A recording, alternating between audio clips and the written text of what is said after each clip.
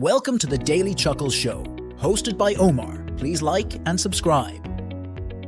A concerned mother warns her little boy Don't look at naked women, or you'll turn to stone. Johnny loved his mother, and as such decided not to look at naked women. But one day, Johnny and his friend were walking along a beach and saw a woman sunbathing naked. Johnny remembered what his mother said and turned and ran away from the woman. His friend finally catches up to him and asks why he ran. Johnny told his friend what his mother said and then added, And it must be true because when I saw that woman, I felt myself going rock hard in my trousers. One day, little Johnny was digging a hole in his backyard. The next door neighbor spotted him and decided to investigate. Hello, Johnny, what are you up to? he asked. My goldfish died and I'm gonna bury him. Johnny replied.